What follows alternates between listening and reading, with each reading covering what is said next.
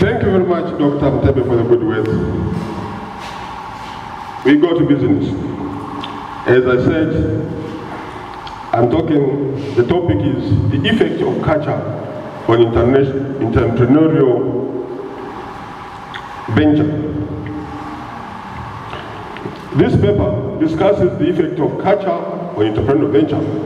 More so, the focus is on small enterprises. So I shall be just focusing on small entrepreneurs, sometimes known as street vendors. The discussion is on five areas, which are, because we're talking about culture, I just pass through quickly to see what is the culture, and then entrepreneurship, what is it? Then as I made the two, culture and entrepreneurship. Then I shall talk a bit about challenges facing small enterprises, entrepreneurs to grow. And finally, I shall talk about cultural factors to be observed by entrepreneurs, actually talking about the management of entrepreneurs. So, several people have talked about culture. This one defines culture as the collective mental programming that is different from that of other groups in tribes or regions minorities, or nations. Of course, from definition, it could be argued that culture, among other factors, embodies the norms, values, and attitudes of a particular society. Another one, Prisma, is talking about we are all living under culture, as see below. He is arguing that most of us act, think, and dream in terms of the culture in which we are reared. Another one, Edward, argues that culture or civilization consists of knowledge, beliefs, arts, morals, customs, and other mental constructs. His argument lies on the fact that since human mental processes are universal, human societies have developed culture catalyzed by progress and expressed in evolution. Because race does explain the origin of culture differences. Uh, he's saying such culture can be considered hereditary. That is, for example, John is born and reared by an Indian family, and so automatically he takes the culture of that family, which is an Indian culture. Secondly, culture can be diffused from one side to another through migrations from one place, race or tribe, with one culture to another tribe with different cultures. We find, for example, the Sukuma and Coast region bringing with them their culture, but at the same time absorbing some of the culture of the Zaramo and the, the Gereko. Because intermarriages can also bring about mixed cultures among the couples and family. For example, Arab getting married to Ngoni and so forth. The other one is technological development, such as televisions, can also lead to culture being transmitted from one race or another. You can find in the process foreign dressing culture, such as skin-tight trousers, being worn by youth in Tanzania. You can also find them in America and so forth. Edward explained that cultural similarities can exist between nations living far apart from each other, but connected through the realm of technology life. So it is possible to find an American and a Tanzanian having some similar carriages. Trousers which are torn, you will find somebody in America and somebody is here. It's just because of this thing. For example, you find Maasai living in Kenya they have cross-cultural similarities like the Maasai living in Tanzania and so forth. The other unconscious believes that culture is transmitted by human interactions and not by the genetic mechanism of heredity, but by the interconditioning of zygotes regardless of the foreign. Thus, Kroeber's basic definition of culture is that land, it is land, shared, patent, and meaningful. So, these people are saying Is not necessarily hereditary. You do not inherit. You have to learn. Learning is basic. Supposing a child is born here, Morogoro, and you take him when he's still one month to America, definitely when he grows up, he will not have the Waluguru culture, he will have that one. So for them, he saying, others are saying so many different can, can have culture. But for him, he says it is learned. Learning somebody can bring about the culture. Cornelius argued that the only mechanism of cultural change were inventions that is an individual's creation of new cultural traits, migration which is the involvement of a society with new cultural traits into new areas, and diffusion which is the spread of cultural traits without migration. White continues the argument that a baby learns culture from other individuals. Culture is not generally transmitted, it is learned, and the purpose and functions of culture are to make life secure and enduring for the human being. White concludes that man is unique, he is the only living species that has culture. The purpose and functions of culture are to make life secure and enduring for the human species. Of course, White is concluding that the culture, the environmental person living in environment so always his culture has to be taken into consideration. Now, entrepreneurship. Deconing states that entrepreneurship is a scholarly field which seeks to understand how opportunities to bring into existence future goods and services are discovered, created, and exploited by whom and with what consequence. Entrepreneurship is the ability to create something from practically nothing it is initiating and building an enterprise rather than watching one. Also, entrepreneurship can be viewed as willingness to take well-calculated risks. Diaconing stated that entrepreneur can be viewed in at least four ways, coordinating of other production resources such as land, labor, and capital. Note the entrepreneur is regarded as the fourth factor of production, the decision maker and the uncertainty the innovator and the gap filler and the input completer. Of course, here we might differ with economists, eh, like Professor Ngoi, but we are saying this is the fourth, the entrepreneur. The Oxford English Dictionary defines an entrepreneur as a person who makes money by starting or running business, especially when he involves taking financial risks. Culture and entrepreneurship. According to Cotton, culture is the most fundamental determinant for the success of entrepreneurial venture. In fact, every entrepreneurial venture exists within a complex network of environmental culture forces, among others. Cultural forces are dynamic. They change now and then as they affect in one way or another the performance of the entrepreneurial venture. All the entrepreneurial ventures are affected by both external and uh, internal culture. It has been discussed above that cultural model comprises society's values, religious beliefs, customs, and taboos that influence the behaviors of individuals in society. Cultural model is the theory that explains that entrepreneurship appears to be more compatible with certain cultures than other theories. Culture affects how individuals and society view entrepreneurship. Cultural values affect the degree to which a society considered entrepreneurial activities to be desirable or not desirable.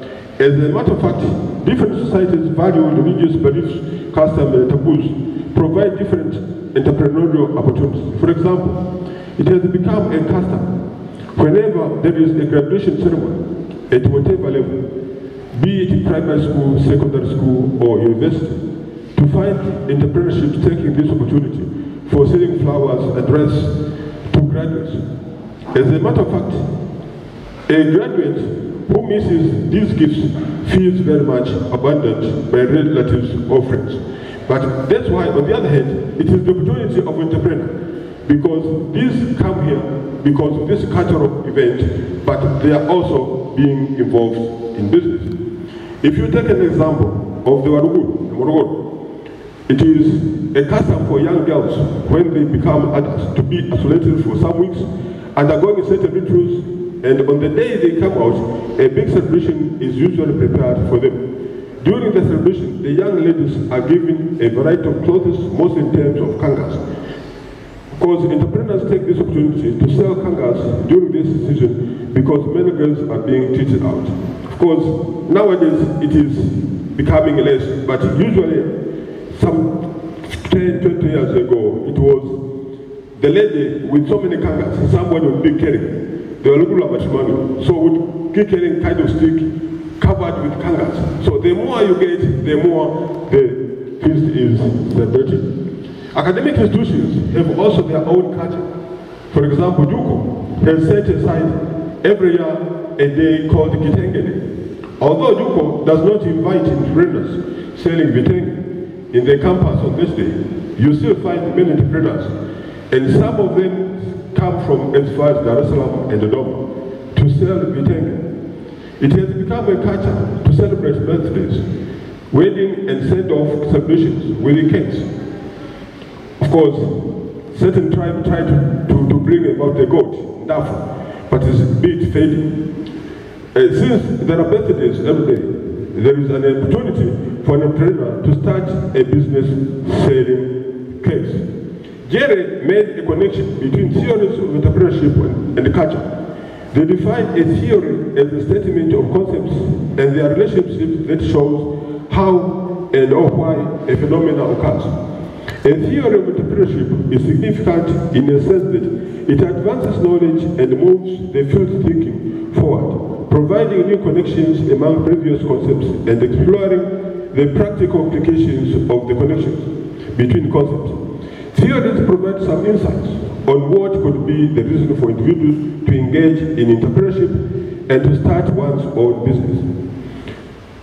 Theories on entrepreneurship are emanating from so many fields and approaches like economics, sociology, psychology, organizational behavior, and uh, culture.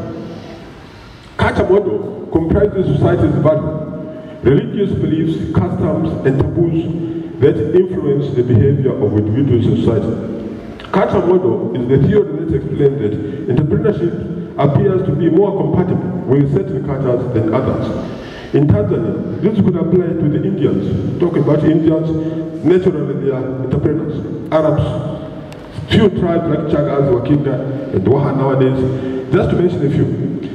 Affects how individuals in society view entrepreneurship. Cultural values affect the degree to which the society considers entrepreneurship, entrepreneurial activities to be desirable or not desirable.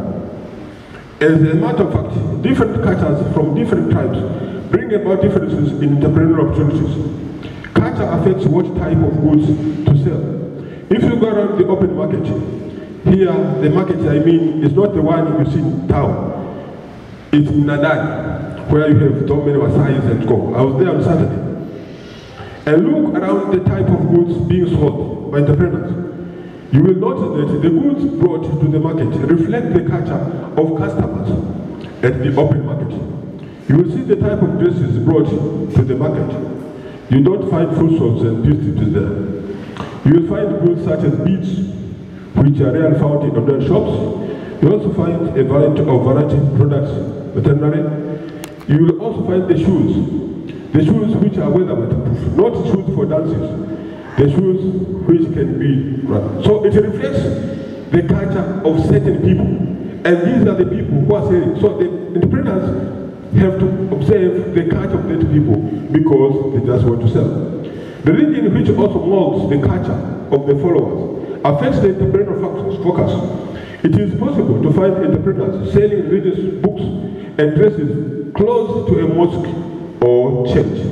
They know the culture. Now, let me talk about challenges facing small business entrepreneurs to grow. Any business would like to experience growth after startup. So we sign these people, small enterprises. Year after year, they are just the same. I had one who was a small gang, always selling tomatoes and uh, what you call tomatoes and sauce. Every year he's not growing. So we are saying any business would like to experience growth. This is because many businesses started small and became big through continuous growth. However, many businesses experience high mortality rates just 12 months after startup. These people. Business failures are mostly due to a variety of reasons, such as limited entrepreneurial education, lack of future orientation, failure to plan, lack of locating trading areas, failure to identify target markets or customers, political factors, demographic factors, cultural factors, and many others. I shall just talk about more about this one. Small entrepreneurs, known as street vendors, face a number of challenges in their day-to-day -day business operations, including unavailability of places and locations. In this way, vendors conduct their vending activities at strategic city municipal points such as those with heavy human traffic along main roads, in the streets, parks, pavements, and at prominent corners of streets and roads where the vendors and their business can be visible to pedestrians and the motorists. Street vendors use different structures to display and transport goods they are selling. These include bicycles and tricycles, wheelbarrows, mats, bags, tables, handcrafts, among others. Some vendors simply carry their commodities on their heads. You see these guards. Heads, people, you go to town, people selling cassava and uh, oranges, just on, top on their, on their heads while others hang their commodities on walls, trees, and fences in various public and private places. An extremely small number of vendors construct temporary parts with stands for displaying their goods. Government authorities from time to time avail vendors with favorable business locations. However, the available locations are most of the time not suitable for the vendors because locations provided to vendors are located relatively for far away from the city center, as well as in places where it is hard for customers to reach and there are no public transport commodity used by street vendors as well as other ordinary products. Of course, you can see, for example, Dar es Salaam, you have the Machinga complex. How effective is it? In Mwanza, there have been some problems that uh, Makoroboi area, the Machinga have been always being driven out, but they are sent to some places where they cannot, people cannot reach it. So eventually they come back. There is this conflict between the authorities and those. Politics is another challenge facing vendors concerning vendors' business spaces and locations. This caused by conflicting directives between politicians and urban officials.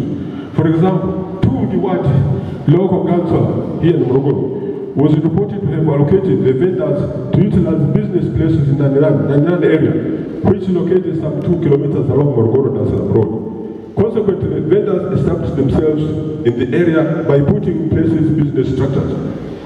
However, later on, the Morogoro Municipal Authority ordered the vendors to be from the area because municipal policies and regulations not permit the local committee to issue and approve decisions related to allocating business spaces to their own. So the order was simple, but these people we are saying small vendors. He has contracted a heart. And now you say, go out. So whole part of his investment is there. So you make him even poorer. Another challenge encountered by street vendors in their daily business operations is inadequate or lack of business capital. In his research, Mtoka found that vendors' capital range from teaching 100 to 3,000, but I'm saying sometimes from 50,000 they, you can start small business. Vendors are unaware or unwilling to consult financial institutions due to lack of knowledge and awareness and called for fair as well bureaucratic procedures involved in acquiring loans from financial institutions such as banks. Consequently, the majority of vendors are compelled to seek capital from individuals whose interest is very exploitative. There are some few people in town here, if you want to get a loan, you go there. 100, you pay back 150. So this person is poor. 100, he has to pay 150. So actually, this is very exploitative. Another category challenge facing the urban street vendors is lack of inadequate business entrepreneurial skills, such as business records. They don't have records. Yes, the managers put in. Management of finances, loans, customer care. Uh, these people they have no formal education, languages. I met one boy, he was just saying, then the customer was a bit difficult. So instead of uh, talking to him politely, he just said, eh, you know in Swahili. So this person left. Uh, that's not a language. Of course, foreign languages, especially English also. These people, sometimes they good goods. We have people coming from abroad. They don't know Swahili. They would like to sell, to sell, but they cannot communicate. I was one day, sometime in Sambo. Then there were some few people, I think they were from Italy or something. And there was a young, he was selling some kind of souvenirs.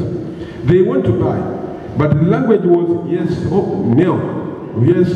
So sometimes they wanted this, he would say no. That's the two ways he knew. So I interfered and helped him. I think that day he sold more than 50,000 to those people.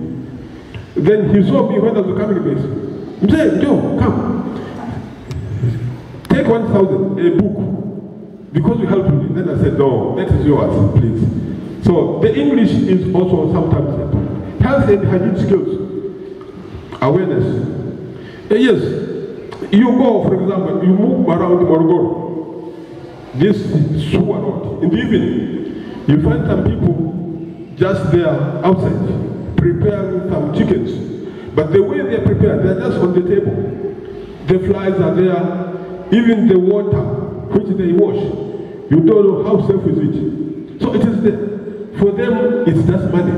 They don't have that knowledge. But also, are the awareness of municipal policies and bylaws. Sometimes the conflicts which are, we just look at the municipality, that's their problem. But these people also don't know that they have, they have used regulations. They are forbidden in certain areas, but they just go there. So we are saying that this can also be a principle. Another challenge facing vendors is the security problem. On one hand, the kind of insecurity results from the fact that the vendors are often being evicted from the unwanted business places. The city authority would run them anytime without any prior notices. When chasing them away and confiscating the vendors' properties would cause the vendors several physical harms. On the other hand, some vendors experience security threats led to theft and stealing. Sometimes, while in business, some ill-intended people would invade them and take away their properties. Now, factors to be observed by entrepreneurs. How to manage this small business. Entrepreneurs. I shall just talk slowly because of the time. According to Gottland, we said culture is the most fundamental determinant for the success of entrepreneurial venture. In fact, every entrepreneurial venture exists within a complex network of detrimental cultural forces among others. A culture by definition we have already defined.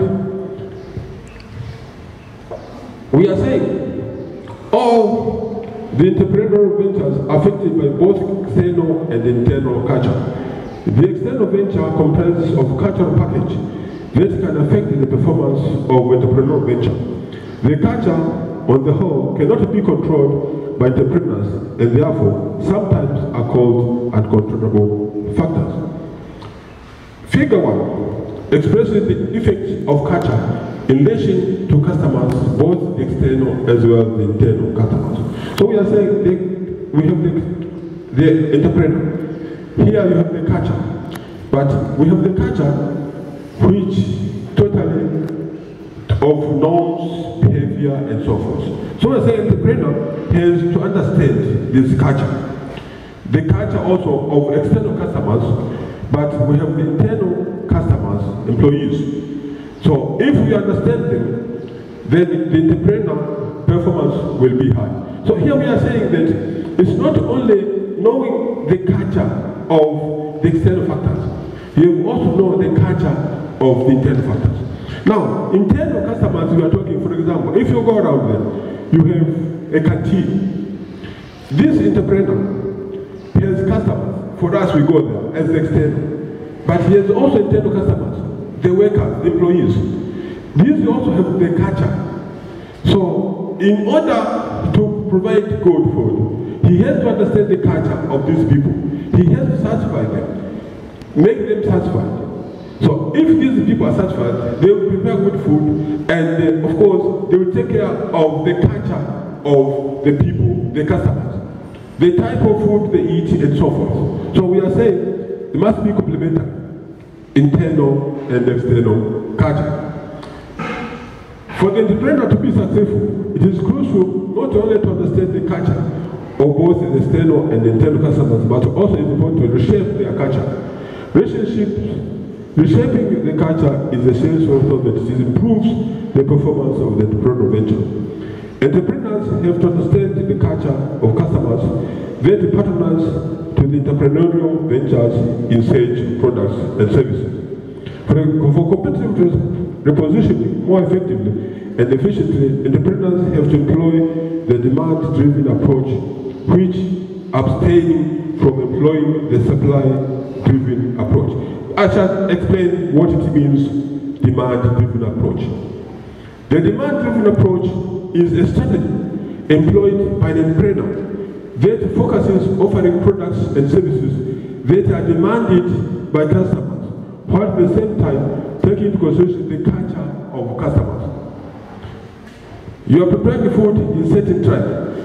You see, for them, the main food is is what we call bananas and so forth. So if the entrepreneur, the type of food he will be prepared, we know that the customers like this kind of food. You go to some places, for them the food is ugali. So if even if you give him rice, he says he's not eating. So the entrepreneur will also have to see that to take into consideration the culture of that people if he is to survive. The supply-driven approach is simply overstocking without considering the requirements of customers, without taking on board the culture issues. If an entrepreneur does not take into consideration the aspect of culture, such will affect drastically the performance of the entrepreneurial venture. Additionally, an entrepreneur has not only to understand the culture of external customers, but he should also understand the culture, norms, behaviors, and values of the internal customers, employees. Quota underscores that employees are number one customers. Entrepreneurs ought to create a conducive working environment as well as to provide them with modern tools. Moreover, entrepreneurs ought to ensure that culture, norms, behavior of internal customers are such. Conversely, if internal customers are frustrated such will affect the performance of the entrepreneurs. When the internal customers are frustrated, this becomes a sign of satisfaction in that when the working environment is not attractive, the culture becomes negative and therefore the performance of entrepreneurial venture becomes unsatisfactory. Figure 2 shows the triangle model and the performance of entrepreneurial venture. So here we have the internal customers the employees, you have the external customers. So here you have the internal marketing strategy, and then you have the external marketing strategy, then you have interactive marketing strategy. I shall explain this, what it means. Figure two addresses the triangular model in relation to the cultures of both employees, internal and external customers. The entrepreneur of the entrepreneurial venture has to ensure that both the cultures of external and internal customers affect the performance of entrepreneurial ventures positively. For this to take place, the entrepreneur has to establish good relationship with employees, internal customers, in terms of creating conducive working environment, the strategy that is applied in maintaining positive relations with internal customers. And this is referred to as internal marketing strategy. This in turn will help the internal customers and their customers to positively interact with the external customers with their customers. Inter this is known as interactive marketing strategy. So as to ensure that service delivery is enhanced to the external customers. It is therefore challenging to the entrepreneur of an entrepreneurial venture to see a need of creating a conducive working environment so as to, uh, to enable the internal customers, employees, to be dedicated in, in an endeavor to offer service delivery to the customers within the realm of their culture and thereby achieving the objectivities of the entrepreneurial venture. So both the entrepreneur starts operating outside the borders of his country, he is obliged to understand the culture of the customers to be served in terms of products and services. Such will influence avoid cultural blunders Example of cultural blunders. The actual entrepreneurial venture based in Germany used to manufacture biscuits. The marketing manager was so aggressive that he ventured a market in China, where a number of tons of biscuits were to be shipped to the country in question. You know China has more than one billion people. So if you happen to have only 100 taking your, that means you become rich. So after preparing all their logistics, the tons of the biscuits were sent to China. The host Chinese came to inspect the lot of biscuits. After inspecting the remarked, and rejected the whole lot of biscuits because you have made a gross mistake. This is because the biscuits were wrapped into a whitish material. According to Chinese culture, if something is wrapped in whitish material, it means mourning. The explorer entrepreneur suffered a great loss. Uh, here loss, not lose, loss. Uh, just an example. If you want, you have, you have some products or food. You have a meeting, a Simba meeting in Dar es Salaam, Simba. You wrap it in green or yellow. I don't think if you get a good discipline there. The same way you want to sell product to Zimbabwe, to, to Germany, you wrap everything in red. Even if it's good, people just know. It's, it's just the culture. So we are saying you have to take into consideration the culture. So my question is, suppose you were an entrepreneur who has faced such an opposite, what steps could you have taken? Eh? You have, you gone there. A great deal of useful guidance when the entrepreneur operates in other countries in order to avoid cultural blunders include the following. How to dress how to deal with people, punctuality, when and how to start discussing business, formal and personal relations, display or restraint of emotions, what language and terms to use to use, and so forth. Conclusion. The overall objective of this paper was to look at the effect of culture on entrepreneurial venture. It was observed, it was observed, there is no D, it was observed that culture is the most fundamental determinant for the success of entrepreneurial venture. In fact, every entrepreneurial venture exists within a complex network of environmental cultural forces, among others. It was also observed that small entrepreneurs, popularly known as street vendors, were facing challenges related to business locations and space, lack of or inadequate capital, lack of inadequate business and entrepreneurship skills, and customer care skills. As regards the business capital, it is proposed that small entrepreneurs should form groups of between 10 to 15 members to be eligible for loans. The groups should have formal leadership and trusted guarantors and approved by municipal authorities. these people should be helped. For the entrepreneurs venture to be successful, whether to operate in foreign or local country, it is crucial to understand the cultural, the cultures of customers in order to avoid cultural blinders. So with those words, I thank you.